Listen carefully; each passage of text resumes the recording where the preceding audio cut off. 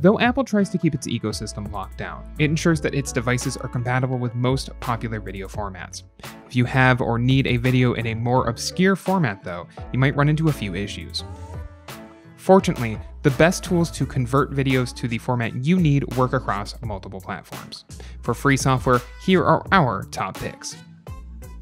Our first suggestion is a bit unexpected, and it might be something you already have VLC Media Player.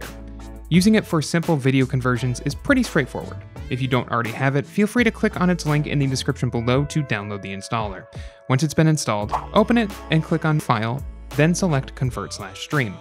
On the window that pops up, add your file, then choose a video profile for VLC to convert.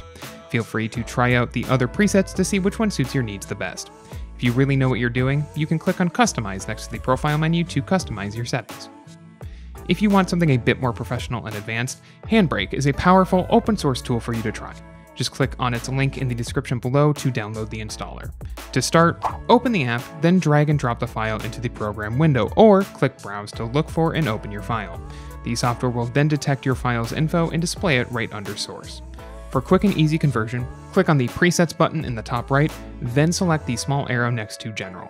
From the list, select the preset that mirrors your original file's resolution, then check the format setting under the Summary tab.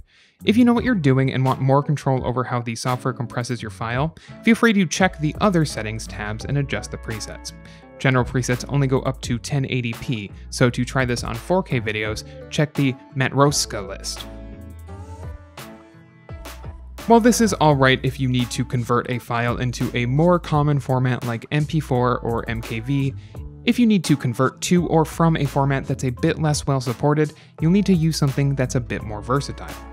Shutter Encoder is a professional grade, completely open source program that can do so much more than just convert videos.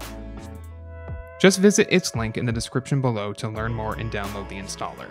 Once you've got it set up, just click on Browse, add your file, then choose what you want to do with it using the drop down menu. Depending on what you want to do, more options will pop up to the right. Feel free to adjust them based on what you need. Once you're set, click Start Function and it'll get to work. You'll get a notification once it's finished. While this might be a bit slower than the other two options and give you a larger file size, you do get a higher quality output. For any issues, you can consult the FAQ section on the site, the Reddit page link to it, or just email the creator directly. If you like this guide, make sure you subscribe for all sorts of videos covering macOS and other technology. And don't forget to check out one of these videos. We think you might enjoy.